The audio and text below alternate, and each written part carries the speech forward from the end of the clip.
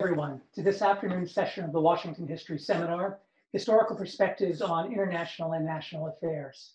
I'm Eric Arnesen of George Washington University, and on behalf of Christian Ostermann, my co-chair, and myself, we are pleased to host this webinar on historian David Reynolds' new book, Island Stories, An Unconventional History of Britain, published by Basic Books. The Washington History Seminar is the joint project of two institutions, the History and Public Policy Program of the Woodrow Wilson International Center for Scholars and the National History Center of the American Historical Association. Behind the scenes, our thanks to Rachel Wheatley of the National History Center and Pete Bierstecker of the Wilson Center. These folks are the ones who do the heavy lifting that make these webinars possible. And our thanks as well to the LePage Center for History and the Public Interest and the George Washington Department of History for their financial support. And of course, thanks to our individual and anonymous donors. Before we get going, I just want to say for those watching on Facebook, or those who would like to submit anonymously, please email your questions to rw rwheatley uh, at historians.org, or you can private message the National History Center on Facebook. We're delighted to have with us this afternoon, or rather for this individual late in the evening, uh, David Reynolds, who is Emeritus Professor of International History at Cambridge University. He's the prize-winning author of 12 books, including Command of History, on how Winston Churchill wrote his war memoirs, and The Long Shadow, The Great War and the 20th Century. He's also made more than a dozen historical documentaries for the BBC, many of which are available on Netflix.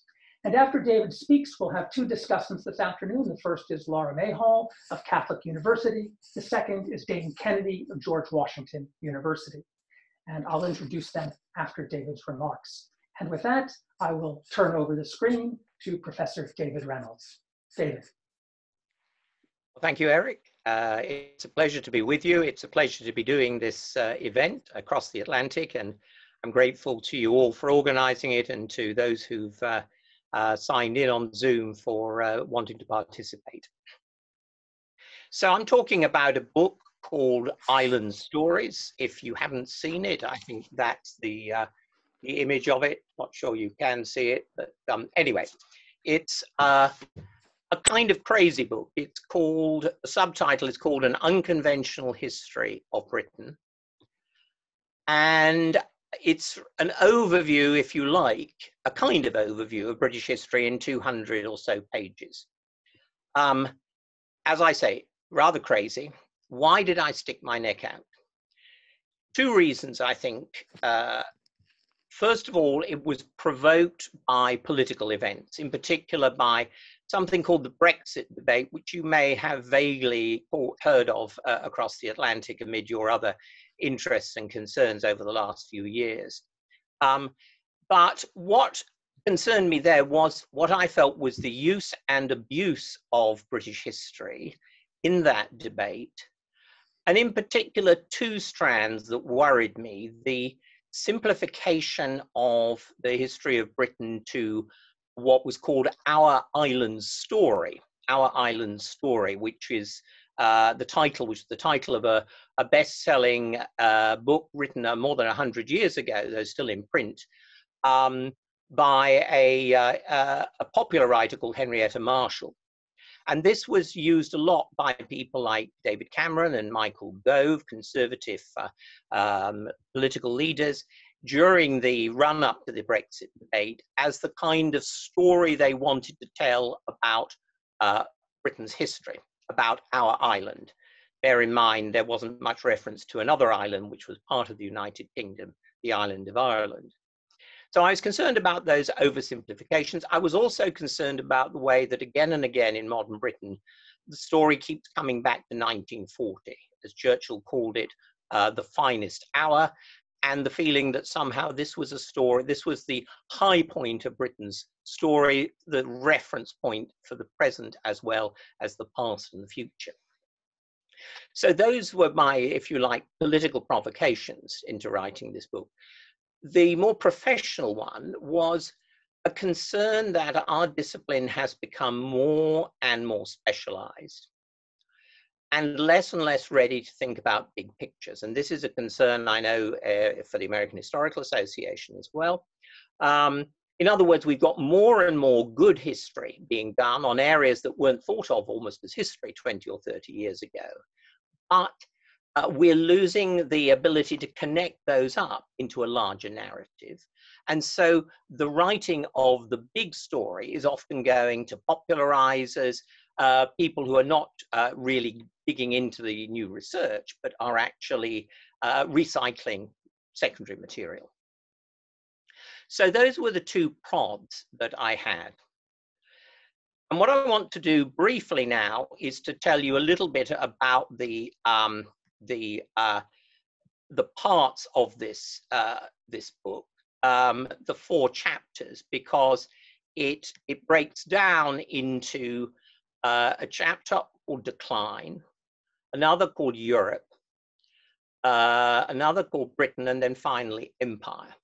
And these were four grand narratives that I thought needed to be addressed that were being often simplified uh, mistakenly so. And also, these are grand narratives that are often in separate silos in the writing of British history. And again, you can think about this for any other country you want French history, American history, whatever that there isn't a lot of talking across these sub sub disciplines. So, um, if I start with the decline, I just summarize briefly what I'm saying there. Um, one of the obsessions of, of the Brexiteers was this sense that Britain had or was perceived to have declined in past uh, decades. Um, maybe not actually, but um, for many Brexiteers, this was a failure of willpower, that the country could make itself great again, a phrase used by Margaret Thatcher as early as her first election campaign in 1950, um, by an exercise of willpower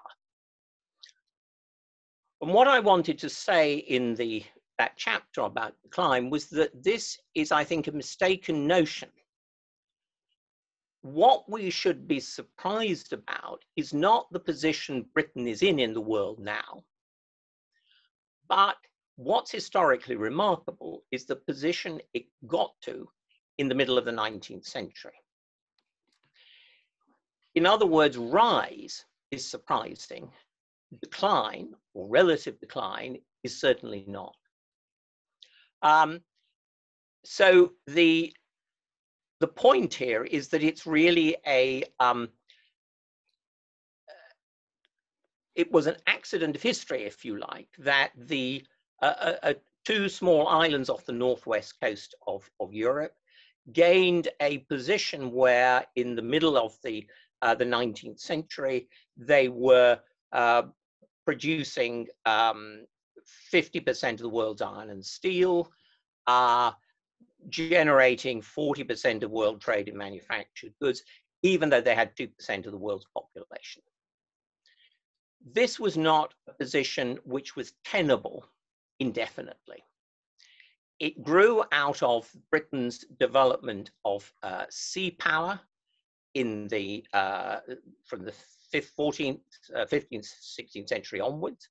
Uh, it reflected the importance of trade to an importing nation, the build-up of a navy to support the merchant fleet, and then the opportunities that came from uh, informal empire, the networks of trade, formal empire of colonies that were gained by force uh, in various wars. Um, some of those areas of the world were lost. Um, we won't get into details about uh, the unfortunate events of 1776, but you know, a large number of uh, parts of the world were held on to India, which mattered a great deal. So as I say, that is a position that is not tenable in the long term. Why? Because other countries, first of all, caught up with Britain's industrial development and technologies and indeed uh, surpassed them. Also because bigger states with more resources and population uh, uh, developed their own power. Russia, uh, the United States, particularly after the crisis of the Union was settled and the country held together. And also, of course, Germany's bid for power in the 20th century on the continent of Europe. And also, what made a big difference was the changing technology of warfare. Britain had this advantage of being an island nation.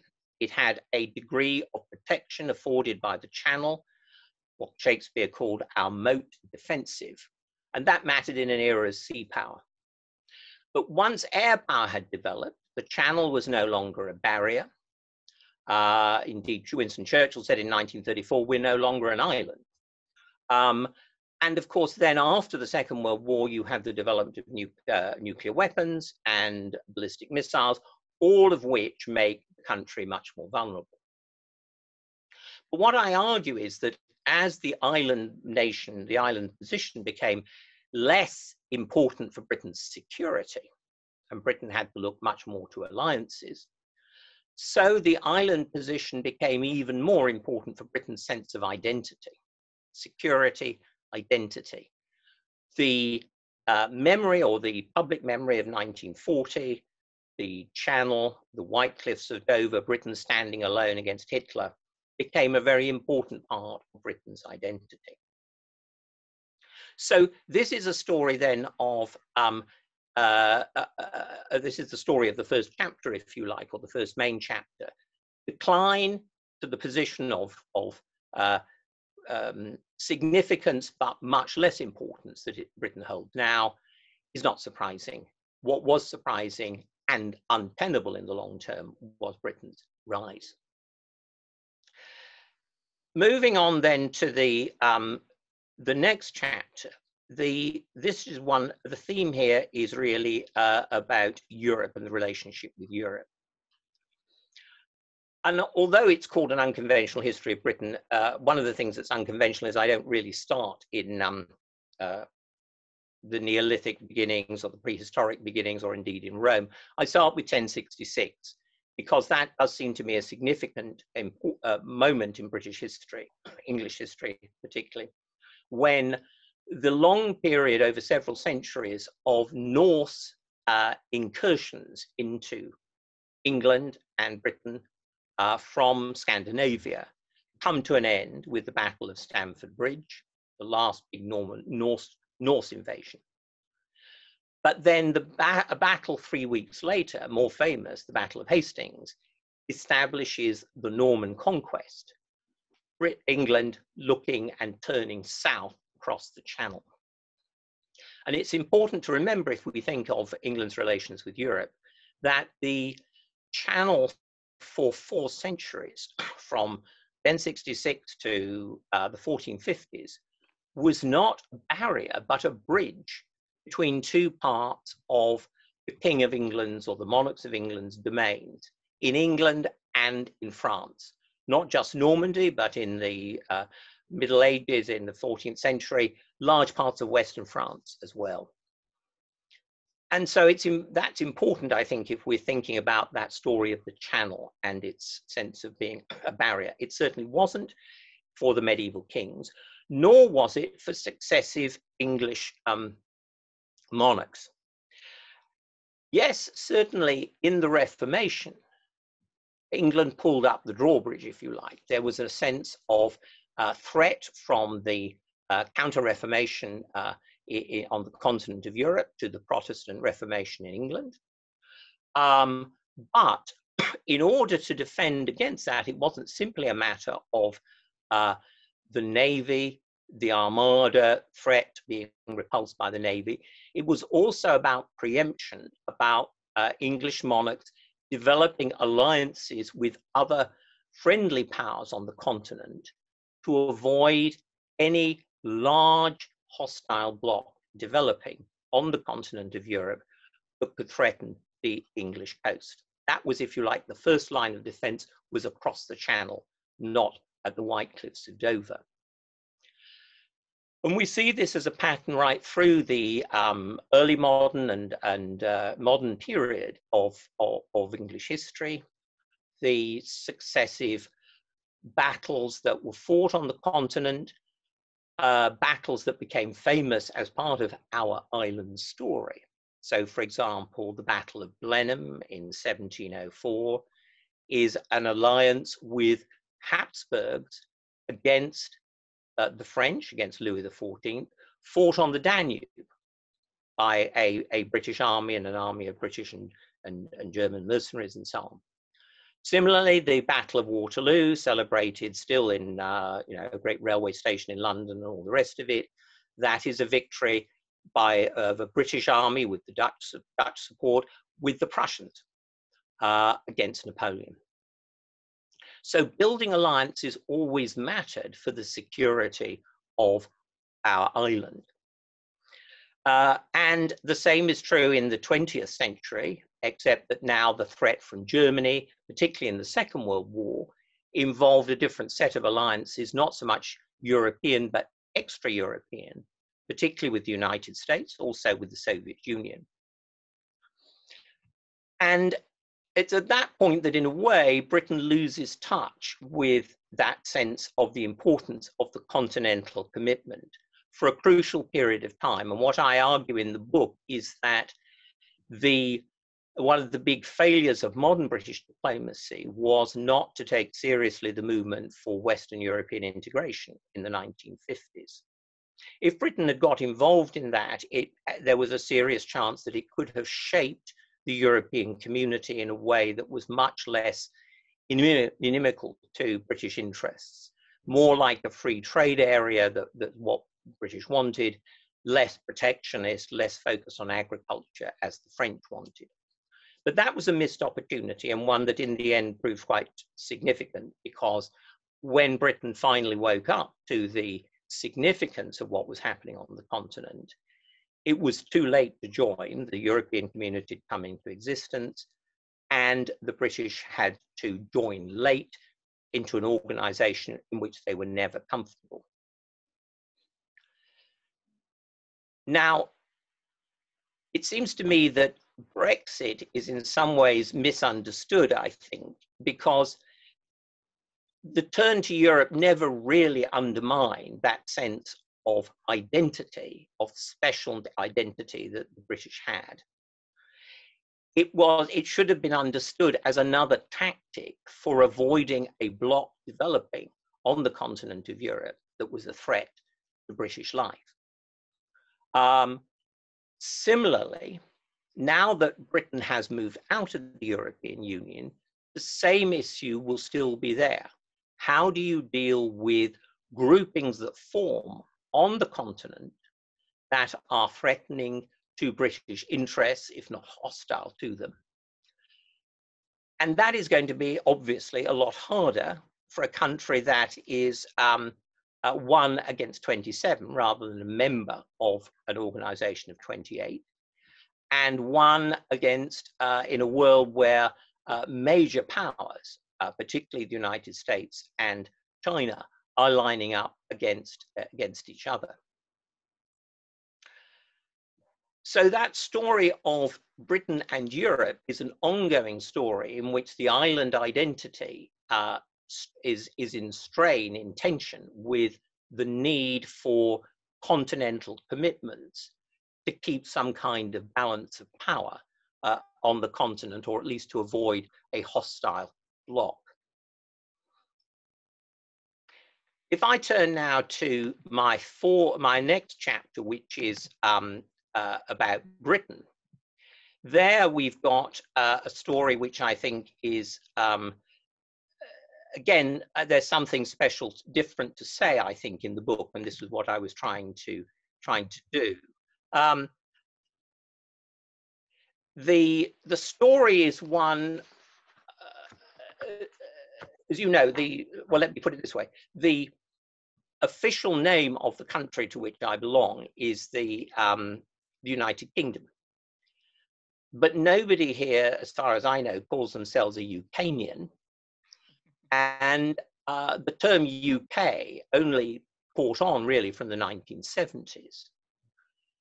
The, for much of the recent history of this country, the term Britain and England were used interchangeably, certainly by the English, certainly by people of Churchill's uh, generation. And um, there's, that's not entirely surprising because in many ways the whole project of the United Kingdom has been a story of the expansion of the English state. Starting with medieval kings, the English crown, dealing with unruly and problematic neighbors on its uh, borders, and uh, gradually bringing them under its control. In the case of the Welsh from the 1530s, brought under English governance, the Scots much more difficult, on and off seven centuries of uh, periodic wars between England and Scotland, in which the uh, English could not, the Scots couldn't keep the English out, but I think you could say the, the, the English couldn't keep the Scots down. And out of this emerged a compromise, first of all, the Union of Crowns in 1603, and then the Union of the Parliaments in 1707, the Act of Union, uh, provoked, uh, prompted by a, French war, a war against the Catholic uh, French. In the case of Ireland, um, the uh, Act of Union does not come until 1800 and 1801, again provoked by a war with France, in this case French invasions in the 1790s. So this attempt of, if you like, English control over the islands um, has uh, eventually a degree of success up to a point. And the success is embodied in this shared project of the British Empire, the British Empire, in which the Scots and the Irish uh, play a significant part, way above their um, percentage of the total population. On the other hand, it's a relationship that is, is unequal. The Scots hold their own within the Union. They still retain their own part, uh, their own uh, church. They still retain their own legal system. There is already a relatively developed commercial economy, intellectual life, uh, precocious early industrial revolution, uh, which means that, as I say, it can hold its own. Ireland becomes, as it uh, has tended to be most of the time, a colony of, of England, ruled by significantly a viceroy, which was the term used for colonial governors. And of course, um, the country is used largely as a, uh, a, a um, an agrarian. Um, uh, it, it, it's kept in a relatively agrarian state, uh, providing produce and providing labour for the English and Scottish economies. Um, the union itself, the whole United Kingdom, comes under enormous strain in the six, 1910s. And it's important to say that the union as a whole, because we often think of the story as simply about England and Ireland, the wars of, of uh, uh, uh, the Easter Rising in Ireland, the Irish War of Independence, the Civil War. but there's a very strong home rule movement in Scotland before the Second, First World War. There's significant anti-English feeling in Wales. And what holds Britain together, in other words, the island of Britain together, is actually the, the, the war. The uh, First World War gives a new sense of Britishness, of a British project in Wales and Scotland. Nationalist movements die down, and that is reinforced, that sense of unity is reinforced by another war in 1939 to 45. The story in Ireland, of course, is very different. Um, uh, the War of Independence, the Civil War in the 1910s and early 20s, um, and then after the uh, the the uh, a divided island between the the Republic and the the, the North, um, still remaining part of the United Kingdom. And then, of course, the opening up of the Troubles from the 1960s to the 1990s, which um, were if you like, in the, if you like, conventional English way, tolerated as a level of disturbance and killing main radar, if you like, of London. Uh, what is the death toll? Maybe three and a half thousand people over a long period of time, militarized border, a huge amount of suffering, something that was in, regarded as acceptable in order to maintain the, the what had been intended to be a, a temporary partition of, of the country. What I try and emphasize in the book is that I think the what happened in the 1990s was hugely important, late 1990s, what I call a kind of millennium settlement. Meaning by that two things the Good Friday Agreement in Ireland, which um, uh, brought not exactly immediately, but to an end gradually the Troubles, created a new relationship between Dublin, Belfast, and London, opened up the border, and opened up a whole lot of new dynamics on the island of Ireland, very positively.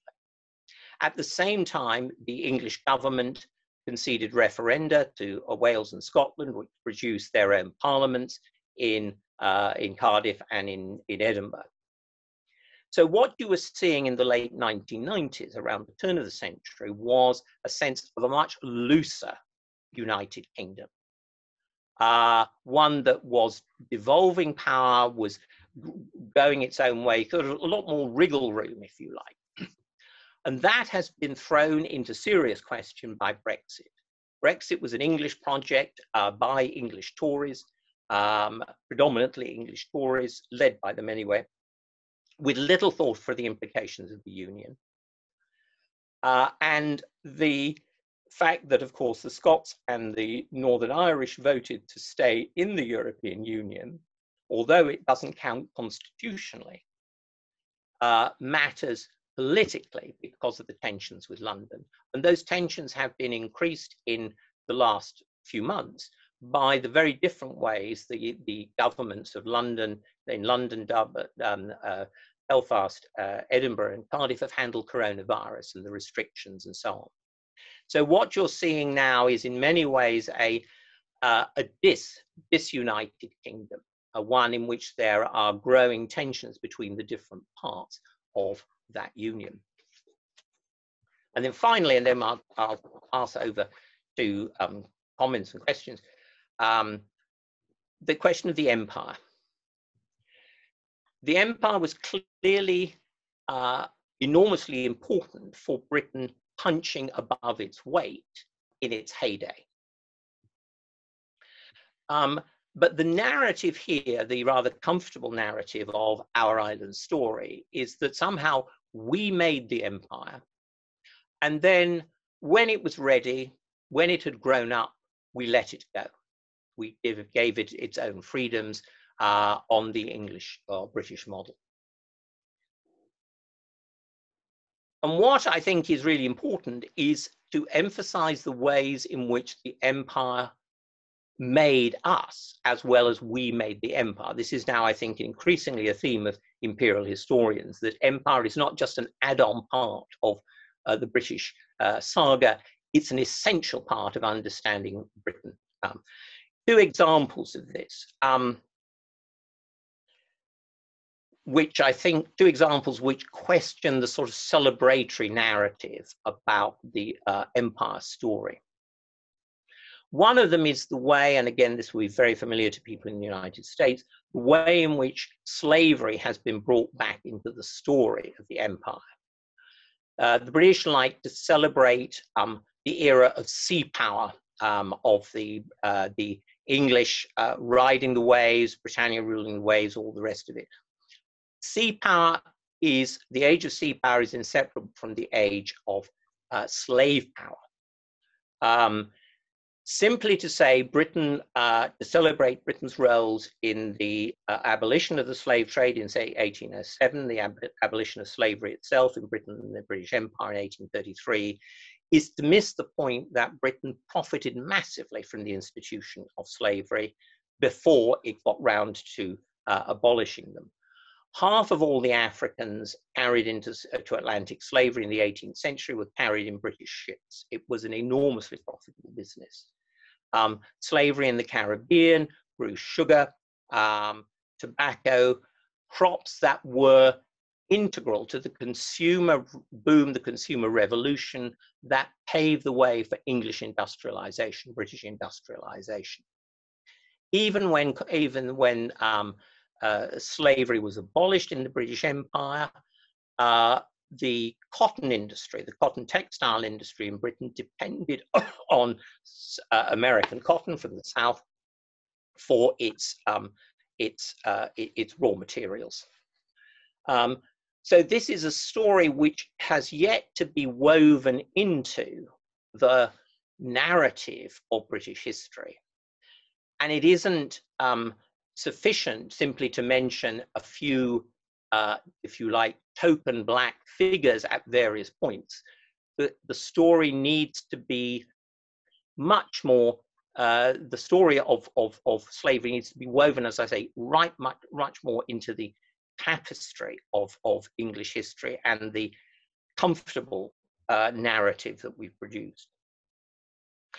The other one that I want to mention briefly, which again has been neglected, is the scale of um, immigration from the former empire since 1945. Uh, again, uh, told perhaps in, in, in uh, occasional stories, both about um, immigration, uh, the Windrush uh, from uh, the vessel that brought the first substantial immigration from the Caribbean in the 1940s, or racist backlashes, Enoch Powell, and so on. But the story is one of uh, deliberate use by the British government of uh, labor from the colonies without coming to terms with the social implications of using that labor, of the people who came and how they related to the, the country and the inhabitants. And that carries on to the present day, uh, that we see that um, now the ethnic complexion of the country is significantly different from what it was in the 1960s or even 1980s. Uh, if you take the, the uh, 10 yearly census, um, where people are asked to self identify their ethnic group, 1981, 94% uh, of the population said they were they considered themselves white. In 2011, the figure had dropped from 94% to 86%. And it's estimated that by 2050, whites, so-called, uh, will be about 66% of the population, the UK population, two-thirds. The shift in the United States, of course, is much bigger and much faster, will be much faster than that demographically. But the changing face of Britain requires a new understanding about Britishness, what it means to be British, with for people who have been born here, grown up here, but come bring to the sense of Britishness a different sense of heritages from abroad. And that is a whole story again that has got to be written into our narrative of British history and was neglected uh, in the debates about immigration, the very crude debates about immigration in the Brexit referendum. So those, if you like, are the four big strands that I've tried to carry through in, in my book. Um, and I stuck my neck out, but I wanted to, for the reasons I mentioned at the beginning. And now I'm sticking my neck out even further and inviting some comments from Laura and Dane, I think, who, Eric, you're going to introduce them now. Is that right? That is right. Thanks so much, David. Um, our next speaker is Laura Mayhall, who is an associate professor of history at Catholic University in Washington, D.C. She's the author of The Militant Suffrage Movement, Citizenship and Resistance in Britain, 1860 to 1930, published by Oxford in 2003. And she's co editor of Women's Suffrage in the British Empire, Citizenship, Nation, and Race, published by Routledge in 2000. She's currently working on a book entitled Aristocracy Must Advertise Rebranding Privilege in Britain, 1880 to 1950. Laura. Thank you, Eric. And uh, thank you, David, for engaging with us today. And I wanted to start by saying that I had purchased this book well before I was invited to talk today. I've been designing a freshman seminar course on Brexit, and I was looking for a book that approached the topic from the longue durée and explained the historical contexts of the Leave vote in 2016.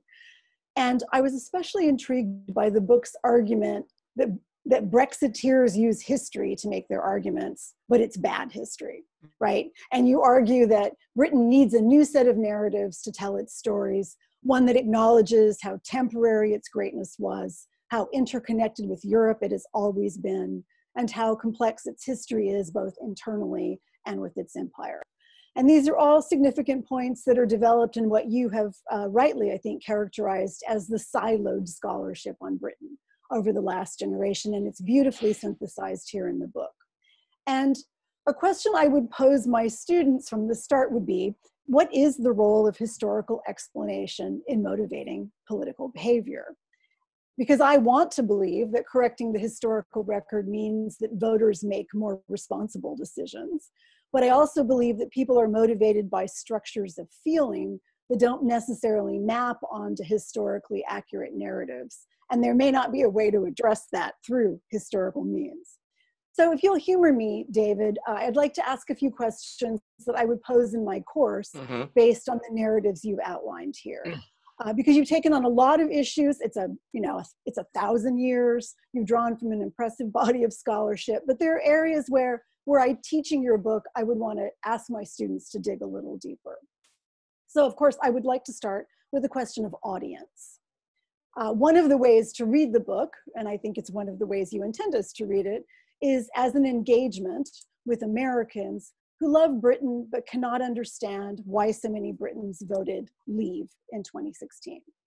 Implied in the introduction and stated pretty clearly in the conclusion, I'll quote the last sentence of the book. The saga of Brexit may also offer lessons for other nations that are captivated by the vision of making themselves great again. Could you draw out some of those lessons for us, for, for Americans from this book? Uh, yes, okay. Um, the, the, British story is obviously one where there is a heavy burden of empire, uh, a word which uh, in the United States has been for a long time a word that didn't need to be used about the American experience. Uh, empires were what you got away from in 1776. Empires were what the Europeans did to the rest of the world, the kind of Franklin Roosevelt era sort of uh, ideology. Um, the United States was not uh, an imperial power. And um, whether or not you use the word empire hegemon or whatever it is, uh, it seems to me that you know, debates in the American historical profession in the last 20 or 30 years have um, uh, you know, acknowledged the sense that although the American experience is different, there is that uh, same sense of a country that has asserted its power both over in this case, native inhabitants, uh, and also over uh, enforced labor brought to the United States. And then also has exercised its power in parts of the world, whether you talk about the Philippines, and uh, Latin America, and so on, um, which have shown um, tendencies which are not dissimilar to the way the French or the British behave uh, themselves in, uh, in their own parts of the world. So that um, what I'm asking is, if you like, questions, or I'm, I'm talking about issues which I think are familiar parts of the uh, American historical profession. Um, and I think the other thing I want to say, rather than get into that detail anymore, is to, is to say that the, one of the questions I've really wrestled with, and I'm still wrestling with, and, and parenthetically, part of the fun of, for me, writing any book is that you address some questions, you just create other questions which you need to answer. Um, and um, it's always work in progress. But I have I've, I'm conscious that as historians, I mean, we're, you know, sort of Monday morning quarterbacks, we could always criticize what governments are doing and so on. That's our privilege. We sit there. If I'm a politician, I'm having to make statements about my country in ways that appeal to a wider audience, people who do not have history PhDs, but in which I use the past to make people feel proud about their present and um, hopeful about their future. Um, it's, it's very difficult to do a public narrative of one's country which is constantly self-flagellating. And the implication of my book at times, as I read it, it could be, you know, I mean, how could a government own up to all those those problems, all those crimes, all the rest of it? And so I think the the thing I still am wrestling with is almost the question for any government in any country and any historical profession. How do we act in a way which contributes to national self-awareness without creating a total sense of national self-denigration. So I've kind of gone a long way from your question, but um, I, I, hope I've uh, you know circumnavigated it in, in some way. Yes, I mean, and certainly you you suggest in the conclusion of the book that there could be some sort of Truth and Reconciliation Commission, right? Uh, well, yes, you know, I mean, I was playing with ideas there. The the last chapter, I mean, I mentioned them four main chapters, which are about the history. the the, the chapters one and six of Island Stories are really about Brexit and the debate. And the last chapter in particular, the end of the last chapter, is really, if you like, almost thinking aloud. Um, I have rewritten certain parts of that uh, well, the book was published in the UK. It's been published in the United States. I'm bringing out a paperback in the U UK in a, a few weeks' time. And in each case, the last parts of the book have been rewritten because my my ideas are changing. Also, I'm thinking about things differently, slightly because of COVID and so on. So, um, eh, you know, it's in some ways it's a, a book with central the central pillars of it are thought through the four main chapters, and the outer chapter or the last chapter is more like a blog. And so it's a strange piece of work in that sense. Um, thank you um, so and actually i wanted to talk a little bit about that last chapter yeah. because in it you both walk us through the political craziness that leads up to uh, brexit and its aftermath and you also as i just suggested lay out some of the implications of your argument for where we go next.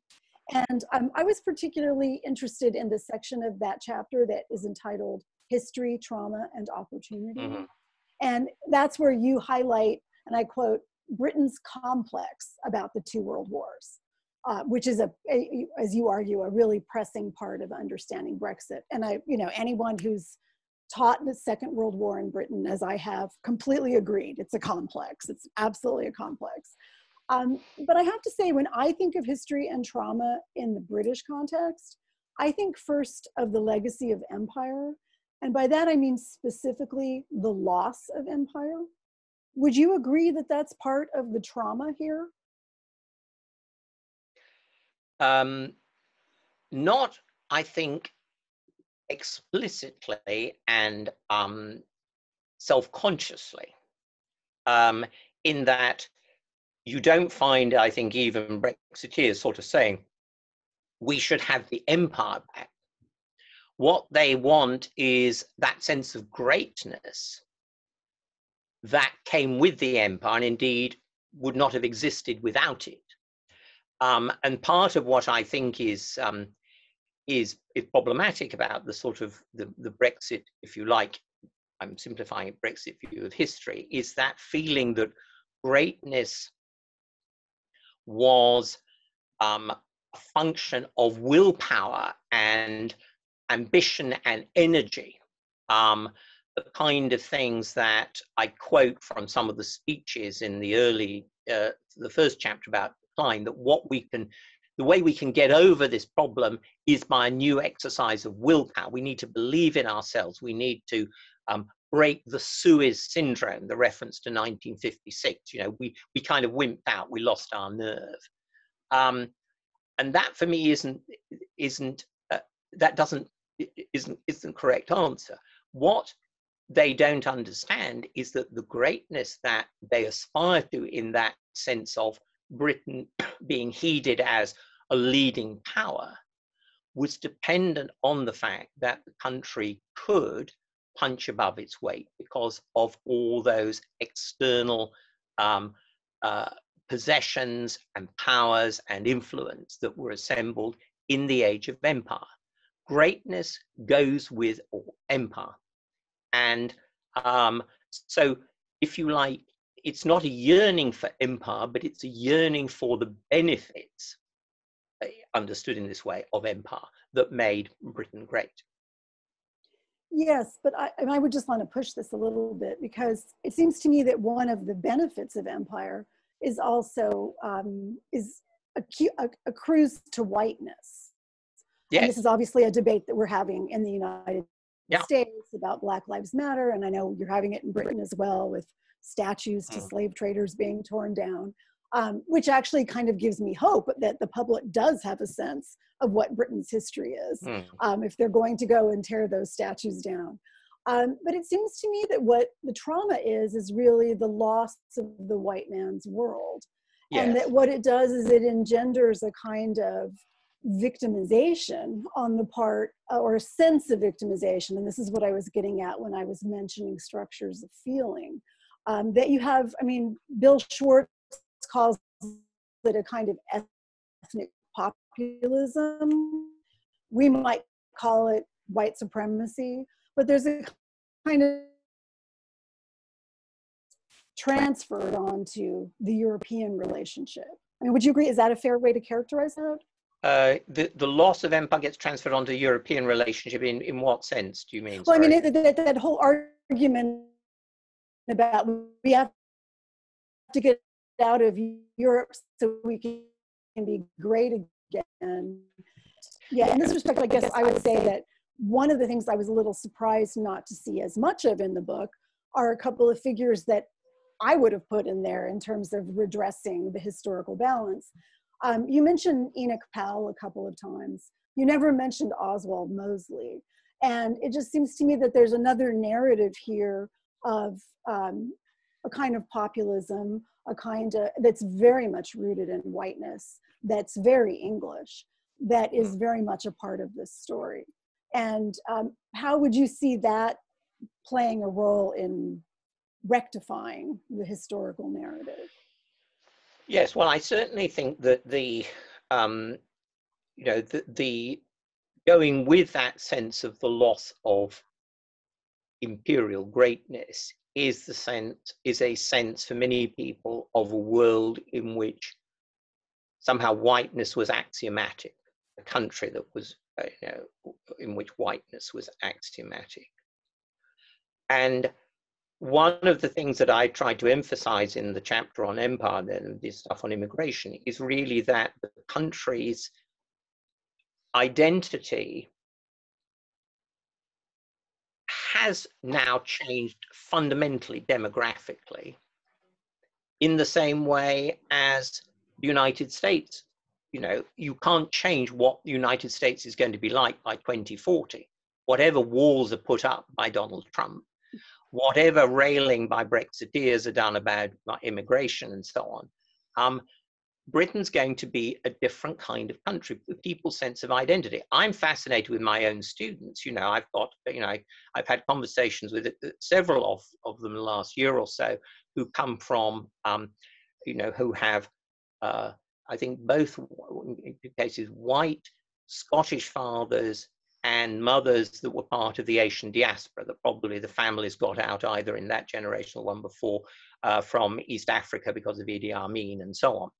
And these two, these young people have, you know, as, as British as I am in terms of you know, where they were born, what the legal position is, but they have a different sense of their heritage and roots. And I think that that's an essential part of trying to understand a changing identity of the country. And there is no, I see very little sense of that happening in, in, in my country at all. Um, in terms of Europe, the point you make about this sort of, um, you know, transfer of the angst, yeah, I mean, Europe became because we joined late, because we didn't fit in, uh, because it ran against the grain of the sort of the White Cliffs of Dover and the finest hour, for all these sorts of reasons, plus some, you know, pretty fancy and problematic politics in, in 2016. For all those reasons, we got, got out. Um, but um, Europe became a sort of bogeyman. Um, the Brexit project was never thought through. Uh, I don't think really Leave had any serious expectation that they would win. Certainly, there was no planning for the for, for, for what was involved in leaving the European Union by either David Cameron or the leavers, Boris Johnson. So it's all being made up ever since. Um, it's improvisation, and much of it is about um, is simply about slogans. And just going back, this is parenthetical, but going back to what you were saying about the, you know, the uses and abuses of history and whether people will learn from, from history if we get right history, quote unquote. Um, I was struck how much history is, was used in the Brexit debate, not, uh, you know, it really as simply almost rhetorical tropes um, uh, or um, illustrations sort of pulled out of popular history to make a political point, but there was no serious attempt to argue historically, in fact, by either side. And that was one of the things that, again, was impoverished. So I am, although I've written this book because I would like people to, to, to think about history more um, intelligently as I see it, I don't have much hope that it's going to fundamentally change politics because I don't think that's how politicians use history, sadly. Well, and that actually leads to my last question because I wanted to ask is it bad history that the Brexiteers peddled, or were they simply lying? And I'm thinking here of those buses going around with the uh, we send the EU 350 million yeah. pounds a week, let's fund the NHS instead, or of Boris Johnson's journalistic expose on the threat posed by the European Union to the survival of the prawn cocktail crisp right? yes. um, and here I find the argument that Fintan O'Toole makes in The Politics of Pain really compelling, because he's saying that for Brexiteers, their hatred of the European Union has more to do with its restraints on buccaneering capitalism and their right to free themselves from the obligations of nation citizenship and taxation than it does with returning to national sovereignty. So I suppose the question put succinctly would be, is, is Jacob Rees-Mogg bad historian or gaslighting opportunist? I think there was the, the answer is more, is more to do with opportunism. I mean, certainly in Johnson's case, uh, Rees-Mogg's case, there was um, uh, Brexit was an opportunity for a whole lot of people. So there's certainly a kind of neoliberal uh, deregulation um, brigade that have latched onto it. It's not clear that Johnson necessarily supports all of that. Um, I, I, mean, if you ask me, my personal opinion, I see him, as David Cameron said in his memoirs, as a man who who saw an opportunity and went with it, um, and could have gone in some ways either way. Um, but um, uh, I think that the what's what's striking about this is, and I'm turning your question, but is that a country that has had, on the whole, a very uh, placid 20th century, uh, well, no, second half of the 20th century and beginning of the 21st century, suddenly went through the most amazing period of almost self you know some people would say self-harm self-mutilation but it was a self-induced catastrophe that nobody really wanted to develop in this sort of way. Um, uh, and one of the things that has been so fascinating for the outside world in almost a voyeuristic way is just how incredibly the British messed it up, you know. And so that in that situation, all sorts of people have seized their advantages in all sorts of ways. And although my book was more focusing more on the way that the uh, Brexiteers used it, you have to say that the way that the Remainers made their case was um, politically naive uh, in not appreciating the, the, challenges that Leave was going to make. um, and also um, never really tried to make out a case for the European Union in a really positive sense, which is another, which feeds into my argument that, that we never really wanted to be in as a sense of identity. This was part of the sort of tactic of saying, well, if it's there, we can't let it grow up without us. We need to be able to influence it and so on. So this is not a story of, uh, uh, uh, uh of uh, uh, that is, I think, flattering to the politicians on either side, and it's a kind of um, shock to a lot of people, not least myself, just how stupid a sensible country could could you know behave stupidly behave. Thank you. Um, I'll turn it over to Eric. Thanks very much, Laura.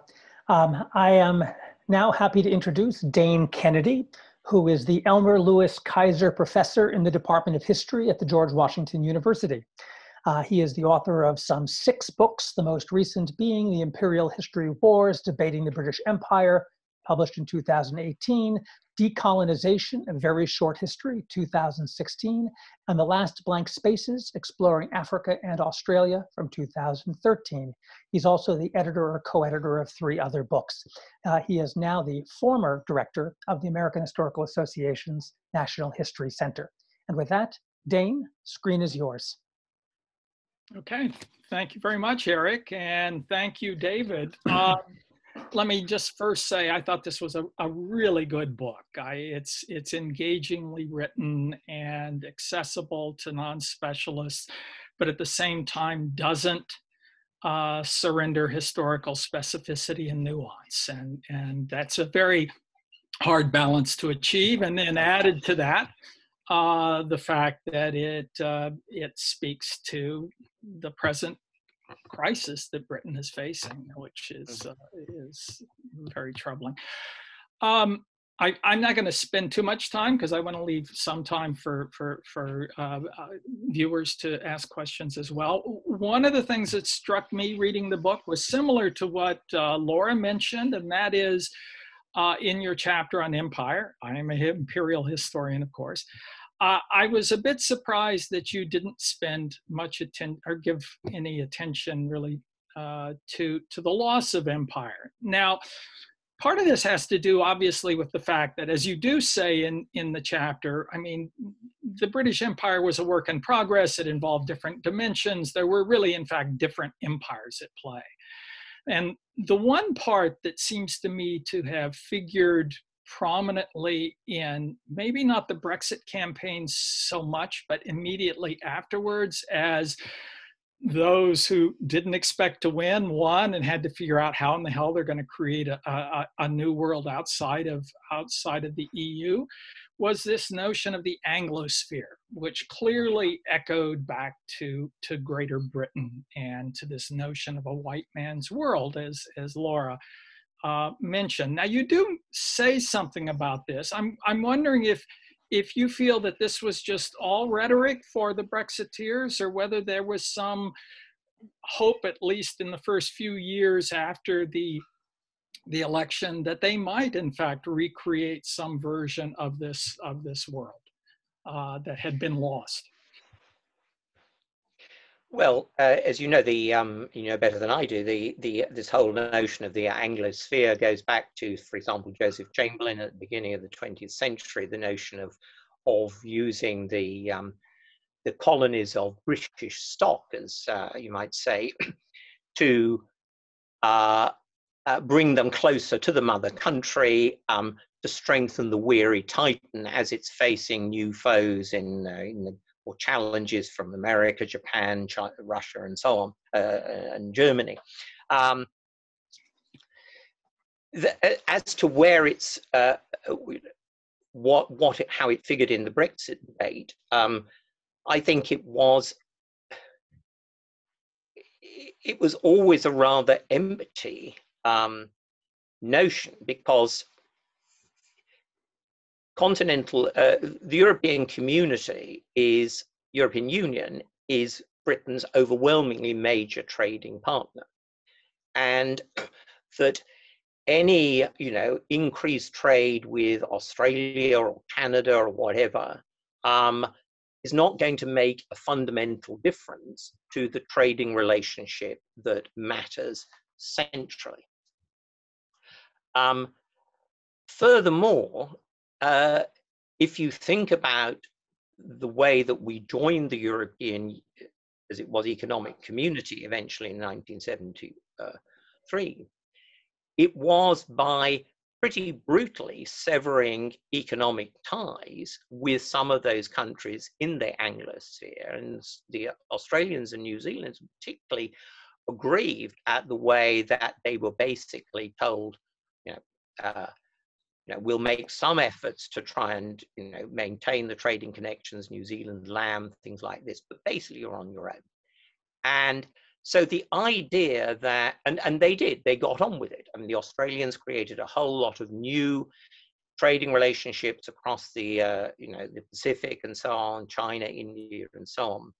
Um, so the idea that, um, as, as some Brexiteers, you know, wrote about it, um, well, now we can, um, once we've left the European Union, we can pick up where we were so you know rudely interrupted in the 1970s and resume all those natural friendships with the english speaking world was i think nonsensical. Um, uh, you know we dumped them and it's not likely that they would uh, want to rechange change all, all over again their trading relationships and their uh, their sense of identity um, to pick it all up so the Anglosphere, I think, had a um, was a uh, was was something that it, if you like, it was um, it was picked up from.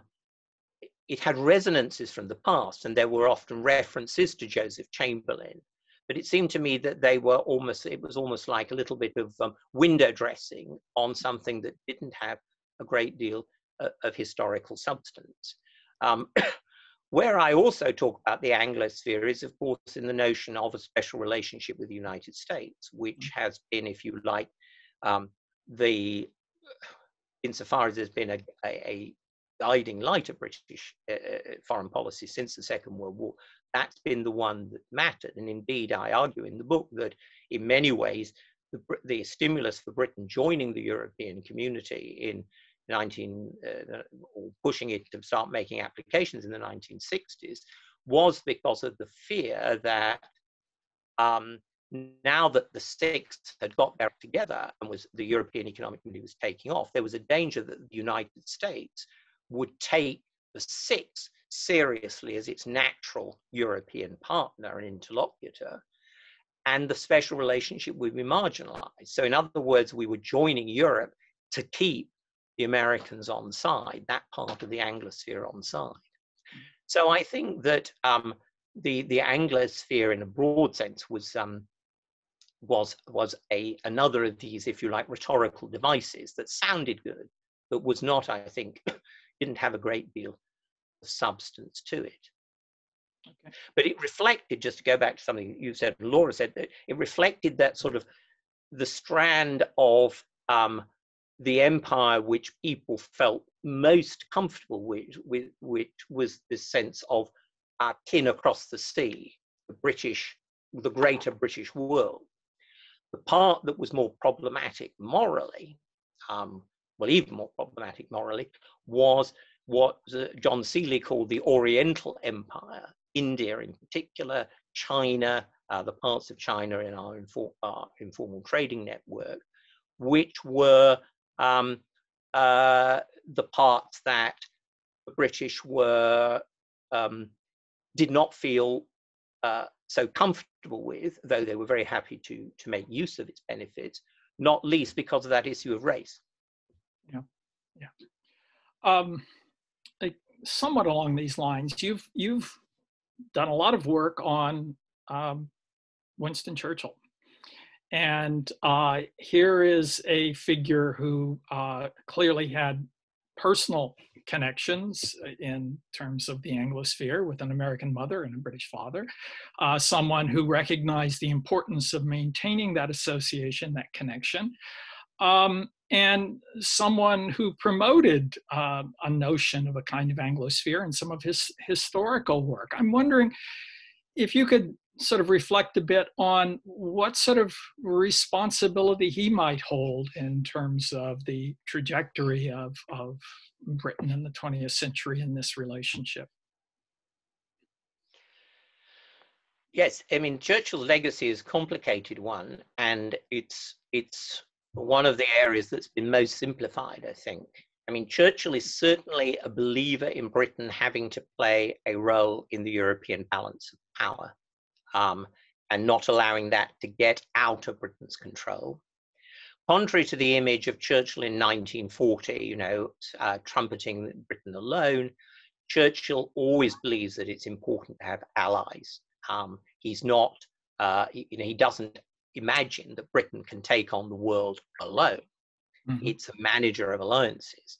It's just that the alliance he ends up in in, in 19 from 1940 because of the fall of France is an alliance in which he's you know from 41 anyway is bound to be he's going to be the junior partner to the two big powers the United States and the Soviet Union. Churchill's attitude to the empire um, he believes that Britain should hold on to India.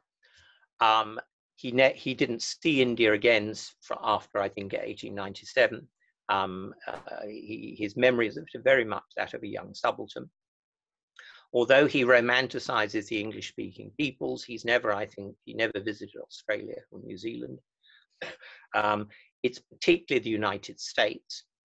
Churchill is a great wordsmith, so these phrases like English speaking peoples, um, you know, take on a, a sort of magical power. Um, uh, Churchill is ambivalent about the European Union. He is uh, far sight, a pioneeringly far-sighted advocate of European integration in the sense of bringing France and Germany together. And he says this is absolutely important in 1946, you know, a year after the war was over, that France and Germany should make peace. Um, but he's very ambivalent about where exactly Britain is going to fit into this. Is, is it really for them rather than us? And he certainly wants to have his cake and eat it in the sense that he has this notion of three circles that Britain's involved in. Um, uh, the um, the uh, uh, Europe, it's yes, it's part of Europe in certain ways, but it's also part of the empire, it's part of the English speaking world. And these are circles that Britain can of somehow mysteriously float around in between and, and you know, is never tied into any of them um, which is very much the notion that the British wanted to play, you know, all through the um, the late 20th century, um, rather than making a very clear commitment to one particular sense of identity. The other aspect of Churchill, which figures in my book, is I think my concern about, if you like, what I call the Churchill industry. I mean, Churchill was an amazing character, and he is um, he's damaged, I think, by the way that he is created often now and turned into almost one two-dimensional icon, you know, the bulldog figure and all the rest of it. Mm-hmm. Man's endlessly fascinating and always surprising, and I'm thinking about him again at the moment and things I'm writing about. Um, but he has been stereotyped by, well, to some extent by himself, because he very deliberately shaped his um, marked his stamp on this, the Second World War by writing six volumes of memoirs. Um, but then there's been an authorized biography, and uh, there's been companion volumes, there's been movies, there's been films. You know, Churchill is the figure of British history, of 20th century British history, that stands out globally. Mm-hmm. And that is partly because of his you know that, his very striking talents and skills but it's also because of that industry which is another way in which we have become you know tied to a romanticized vision of of of the past and of 1940 as our our finest hour. So so this may be uh, to follow up from what you've just said to some degree um, this may be a rather us centric question but uh, churchill himself had this vision of three sort of intersecting circles, mm. right? There's Europe, there's Britain and its empire, and there's the US. And I'm wondering if you had more space and more time in this book, would you have had, in addition to the chapters on the United Kingdom, on Europe, and on empire, a chapter on the United States as a separate and distinct uh, dimension of this interaction, at least in the 20th century. Well, I could have done, but I think that what I I felt was that um, it, it made, in some ways, it made more sense to try and think about the United States within the framework of empire, because the, if you like, one of the legacies of empire that's enormously important, and Churchill you know, picked this up, was you know the fact that the United States and Britain spoke the same language, more or less, in the same way as it mattered, uh, you know, as one of the legacies of empire that um, one of the biggest speakers of English in the world is India, the lingua franca of, of India. Those two things have been enormously important, and one of the reasons why Britain, if you like, still figures in terms of its international soft power is the pervasiveness of the English language, which is not um, a um, no longer because of Britain itself, because of its, if you like, ex-colonies that use it. Um, and it seems to me that um, part of the way in which the British thought about the United States, and I think certainly Churchill did, was essentially a, um, you know, if you put it in this kind of language, it was a, um, a, a, a, a, former child that had grown up but now recognized its you know its its um its its its links and its identity with the parental country the mother country or whatever it was. And that was how he somehow imagined this kind of coming together. Um so um so to answer your question and again where it goes back to also what um, laura was asking about with regard to um, empire and greatness i think that rolling up the united states in this way is a little more instructive um, than having a separate chapter on the United States, rolling it up into the legacies of empire. Because one of the things that this book is, you know, its its strength and its weakness is that it's essentially an extended essay. And I mm-hmm. think if I added more chapters, it would cover more ground. In some ways, it would deal with more nuances. But whatever uh, punch it has or doesn't have, it would lose uh, by being longer. Um, so that would be my justification, I think.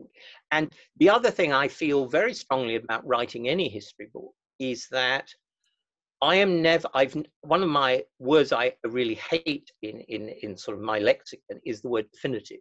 I don't believe any book any history book is definitive. It mm-hmm. shouldn't be, because the whole point is if you look at the same evidence as I look, look at it, we can argue about how we interpret it, but you will see it differently from me. Laura will see it differently from me. That's mm-hmm. the point of our discipline. That's mm-hmm. why it's endlessly fun and instructive.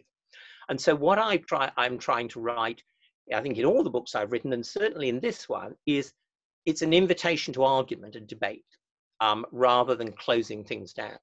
So this is why I think when I'm very happy to be involved in this kind of seminar because it's this sense, okay, here's something, here are some ideas of, of mine. You know, what do you think? How would you respond? What would you do with your students? And you know, what that's that's exactly what we should be doing in a profession. It's opening up the debate, not closing it down. Okay.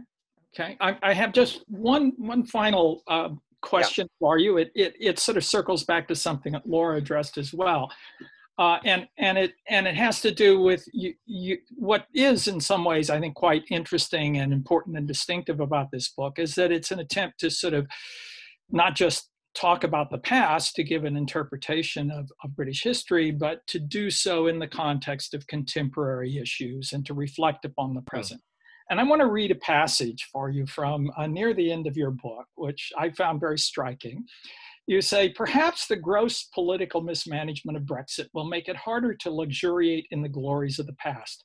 The country's soft power has relied on a reputation for stability, prudence, and common sense, whereas the Brexit mess prompted phrases like political farce and banana republic, to mention only the more polite examples.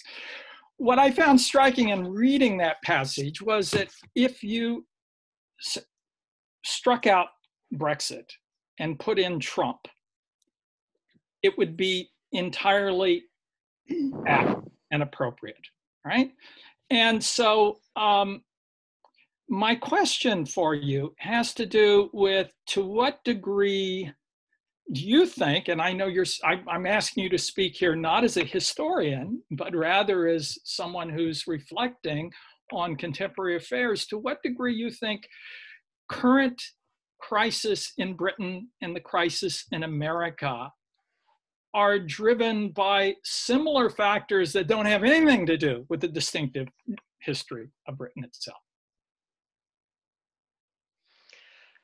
Yes, I mean, I think that the one that seems to me a kind of common feature is uh, the the sense that an identity which was apparently quite clear to the majority of the population is now disappearing before their eyes. And in the United States, that's a trajectory that, you know, I mean, is different. It has a different set of roots because of the, the predominance of slavery within the country. But it also has to do with changes from the 1960s, Lyndon Johnson's Immigration Act, which had all sorts of consequences people hadn't expected. In the case of the British, the story of um, opening up to immigration from the rest of the uh, from from the former empire, which again was not thought through in any way. But um, it seems to me that there is a common pattern in both our countries in that respect, that there is a passing of uh, a sense of white identity, mm-hmm. which is deeply troubling uh, to a lot of people. And to put it more neutrally, requires a huge effort to rethink what either country is and stands for and what it's going to do in the future. And so, you know, if you're thinking about um, you know, if we're thinking about leaders, Trump or Johnson, I often say to people, you know, that what's significant is not leaders, but followers. You know, why are people following these people? Um, and one needs to understand what is the mentality that would support uh, someone like Boris Johnson, who I regard as a very you know, charismatic showman, but without um, a great deal of substance, or Donald Trump, about which you know you will have your own views. But I mean, I think the point is not you know uh, Trump himself. It's why so many people supported a man who does not, on the face of it, have any obvious credentials to be president of the United States. Um, but that's a, that's a serious question, and that takes us into social history. One of the things I'm answering your question again parenthetically, but one of the things, and this is nothing to do with Johnson or Trump, but it's to do with biography, uh, Ian Kershaw, who wrote a two-volume history of a biography of Hitler, um, Kershaw was a, a, you know social medieval well medieval historian by background, social historian, and he said, "I'm never you know I never expected to write a biography." But what he said was, I you know what intrigues me is why the most uh, Germany, the most um, intellectually sophisticated, culturally advanced, uh, technologically, um, you know, um, uh, brilliant country in on the continent of Europe, why Germany fell for this total Battenstein. Mm-hmm. And that's a historical question. And I think to get into where our own countries are going, Britain and the United States, and where they come from, one has to get in. This is where, you know, moving away from leadership history, one has to get into these larger patterns that I think are helping to explain why certain leaders capture a sort of zeitgeist at a particular time. Um, and I would have said it's, as it were, the, the passing of, of that sense of a clear, uh, white, if you like, Caucasian identity that is one of the things that is particularly problematic for a great many people. And in some ways, Johnson and, and Trump have, have caught up on. Okay. Well, thank you very much, David. I enjoyed this. And thank you, Dane. Now we're going to uh, open this up for some questions. Uh, there are a number of hands uh, that are up. Please use the raise hand feature uh, on your screen, uh, and I will try to call on as many people uh, as I can. Michelle Egan has been very um, patient, and I have now unmuted you. If you could unmute yourself and pose your question, please. Michelle Egan.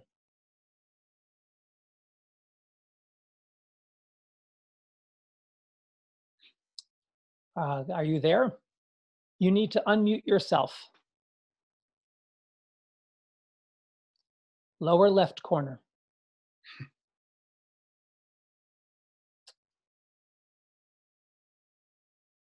All right, well, that's not working, so I'm going to go down the list. Uh, and uh, Michael Novak, um, I have just activated you. If you could, okay, very good. Oh, good afternoon. First of all, this was a very, first of all, hi, Professor Kennedy. Also, um, this was a very, this was a very interesting talk. I was so glad you could come out for this, well, virtually. My question is actually, when the whole Brexit thing was going on, I actually knew a couple of people in school who were who were British exchange students, and I asked one of them why Britain voted to leave, and his and his answer after the requisite profanity was dealt with was angry, stupid old people. Now, obviously, that's an obviously that's an oversimplification. But I was wondering to like in your research and your understanding of British history, to what extent is a gen- is there a generation gap in this understanding of what it means to be British and its relation to Brexit? Yes, the, thank you for the question. The generational divide has been, I think, touched on by quite a few analysts, the sense that there was more support amongst younger British people for remaining in the European Union than the case for older ones. But there are many other divides as well. As I say, the um, there was a much stronger support for, uh, in Scotland for staying within the European Union than there was in England. Um, a lot of, there's been quite a bit of work done on the, uh, the correlation between support by English people for Brexit and also a low view of Scotland and uh, Scotland, particularly within the Union. In other words, that there would be a feeling that they would be very happy to say good riddance to Brussels and good riddance to Edinburgh as well, uh, in the case of many English uh, uh, supporters of Brexit. So, what it opened up, I think, was a whole lot of divides in a country that had become quite complacent about its sense of um, being a, you know, a fairly happy, relaxed, um, you know, we kind of all get on with each other sort of country. And that was part of what was alarming, I think, about the um, the sense of of anger and division that uh, was revealed by Brexit. So generational divide, yes, but others as well. Thank you. We have a question that has come in um, to us uh, from James Banner, uh, who asks, how do you distinguish your take on the subject of the two islands from Robert Tombs's go at this subject through his English and their history. That is a work focused on England uh, as over against the entirety, entire entity known as Britain or the UK. Uh, if you look out from only England rather than from the UK on your subject, does it look any difference? Different. Uh, I'm smiling because um, I don't really feel I'm on the same planet as Robert Tombs. Um, I would have said that, uh, you know, his book is a fascinating uh, book, uh, a very fascinating read, uh, but it's almost like the history of the UK with the non-English bits left out. Um, so, for example, I think the Empire then is essentially, you know, regarded as an English project, which is runs right against the grain of um, know, a lot of the scholarship about the role of the Scots and, and, and also the Irish in it. Um, so I'm, uh, I, I think it's a very, I don't engage, I try not to engage with uh, a lot with historiography in this book. It's a short book and I, you know, I, I, I, I, I'm trying to write about my take on the past. But I would have said that he's doing things which I feel we ought not to be doing now. I think uh, one of the things that I found particularly important in writing the book was actually taking more seriously the history of Scotland, Wales, and Ireland and its various, you know, the various components, parts of those countries, because there's no single Scottish story or Irish story, certainly. Um, and that uh, that taught me a lot about myself and my own Englishness. And um, so I'm I'm looking to to write history in a way which challenges me as well as the reader. And um, so I wasn't uh, at all comfortable with his narrative. We have now uh, Gavin Wright. Um, I have activated you. If you could unmute yourself and pose your question. Gavin Wright. Yes, David, can can you hear me? Now we Yes. can. Yes. Uh, I want to be, I'd like to begin by saying hello to David Reynolds, uh, who was my host at Christ College. uh, Hi, 20 I, yes, a long time ago. Nice to nice to hear from you. Uh, So thank you for the presentation, and I look forward to reading the book. Uh, I wanted to pose a question based on a lecture that I recall hearing that year at Christ College by David Cannadine, which was about the theme of declinism in British politics. Mhm. I'm saying it was a theme that went back more than a century. He began Yes. with Joseph Chamberlain, as I recall, and went up through uh, Margaret Thatcher and saying, well, whoever's out of power is always saying uh, that the country's in decline and only I can fix it. And that it seems to have been an effective political rhetorical strategy for all that time. And then I want to pair that with uh, uh, a noted article by Barry Supple, just to mention another Christ name, uh, also about the theme of decline, saying it goes way back. This is economic decline. Hmm. Uh, but when you look at the growth record, it's been 2% for about as far as uh, the eye can see. Uh, now, it's true that a slow, steady growth rate of 2% will add up to relative decline, which I think is what you're pointing out. But uh, just to uh, turn these observations into a question, uh, would you say that what we've seen over the past 25 years is basically a continuation of those themes, uh, but uh, to the point where their political bite has taken uh, uh, tragic, has led to tragic real world consequences? Yeah, I don't think the pattern has changed, and I think the you know you would you would have to say that um, while and then this is a point David Cannadine's also made that while Britain has apparently declined in the world, um, the standard of living for most British people has got better over time uh, since the Second World War. Uh, on the other hand, the benefits of uh, that affluence have not been um, uh, evenly distributed. Uh, and also, there has been this sense of uh, looking for political scapegoats to blame uh, a changing position in the world or the changing or the, uh, the, the less satisfactory position of a particular sector.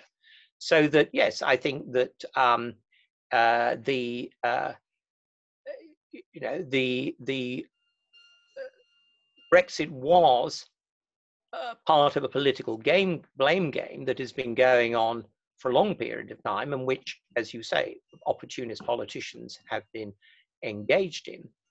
And if we just go back for a moment to the question about statues one of the i think there's now some interesting work on why so many statues went up around the turn of the century the turn of the end of the 19th century, beginning of the 20th century, um, that it wasn't so much celebratory, it was about anxiety. It was about that sense that actually Britain was losing its position, and we needed to make sure that the uh, the people who had made the empire, who contributed to the empire, were being uh, uh, stated and asserted as part of this effort at willing the country on to the greater efforts. So, um, you know, that would be a rather circuitous answer to your to your question. Thank you. Um, we have another question that came in um, online. Uh, this one from uh, Ari Dubnov, uh, who writes, though historians are not prophets, would you be willing to reflect or suggest what you think would be the future of British historiography in the post-Brexit era? Will it decline? Will it focus more on empire or the opposite, island, insular, little Englander approach, or neither? Well, uh, I mean, it's a question that I think some of my um, questioners might want to contribute to as well. But it seems to me that the um, historiography is is is is pushed by the larger political context, but it's also driven by the particular concerns of scholars and the projects they work on. And I would suspect that there will be a large amount of historical writing that continues with the same momentum um, and the same aspirations as before, but it won't, Brexit won't necessarily change uh, the agenda.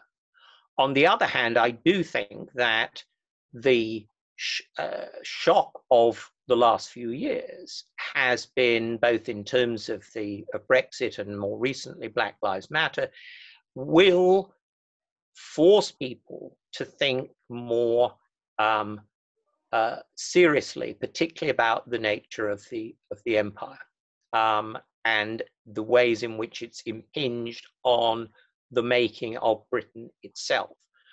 And, and of those pro projects, of the, the issues that come up in the book, I think that's the one that I am most concerned about and most keen to see being dealt with and addressed because it does speak, I think, most profoundly to the questions of the identity of the country, present and future.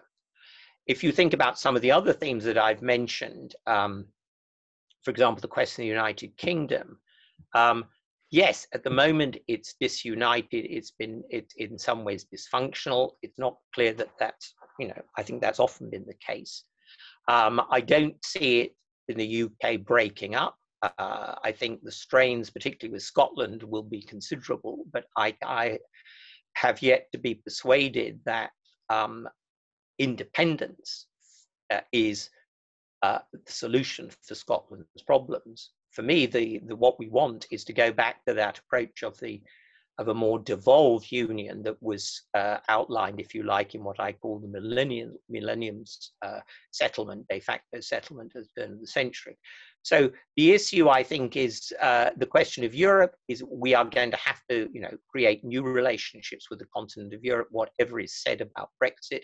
Brexit, although Boris Johnson wants us to feel that it all happened on the 31st of January 2020, Brexit is a process, not an event. It's going to take years to sort out our relationships with the continent, but we have to have them.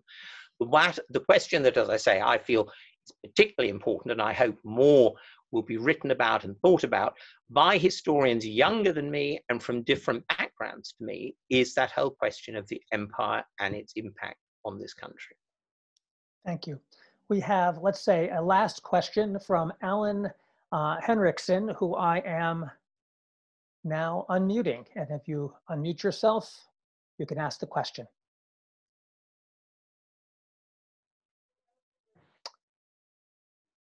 Alan, if you could unmute yourself. My apologies. Here we go. Um, David, I have a question about what you see as being the relationship between Britain's continental connection, if you will, with the European Union and its continental connection uh, via the North Atlantic Treaty Organization.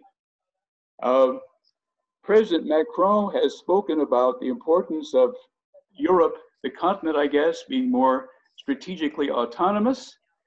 Uh, Britain can play, I think, a role through NATO and through its developing reconnection with Europe into, into strengthening, certainly maintaining the larger, not only Atlantic, but even, even global security community. an Anglosphere in that sense. And NATO, as you know at the beginning, actually had interest through the colonies uh, in the Pacific. Um, Britain, of course, has interest in the South China Sea. Uh, it's connected with Australia and New Zealand uh, in the Five Eyes connection. It has a connection with Singapore. Um, and security, the security community, as Walter Lippmann and others argued back in the 40s, is becoming, if anything, even more important than in the past. So this might be a framework, a kind of foundation for Britain getting back into the game. What do you think? Yes, well, thank you, Alan, and um, it's nice to hear from you. Um, I I think that one of the questions that has um, is going around at the moment is the degree to which Britain leaving the European Union will uh, strain or weaken some of its contacts with European partners within NATO. So it has to do with, you know, some questions about the intelligence relationship, also the sharing of, of data on um, uh, criminals and terrorists and so on.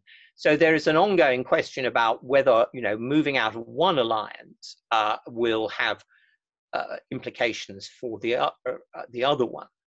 Um, I mean, from this vantage point, it does seem to me there's also a larger question about where the whole North Atlantic connection is going in the future. Um, and there has been a sort of feeling amongst some people that, well, if um, uh, you know we have problems with Donald Trump, uh, maybe when we have a new American president, uh, things will get back to quote normal.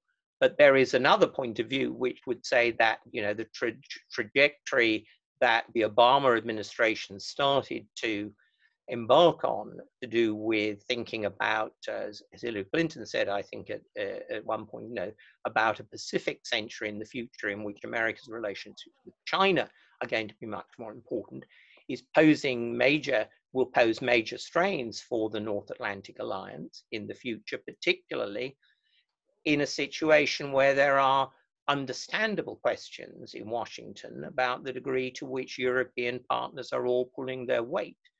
Um, so um, uh, I would have, um, I would be less um, confident about some of these connections than uh, than than others would, and perhaps your question um, implies. I think this is going to be a challenging phase for uh, Western Europe, European Union, and its relationships with Atlantic, uh, with the United States, uh, whether whoever is president um, from um, from next January.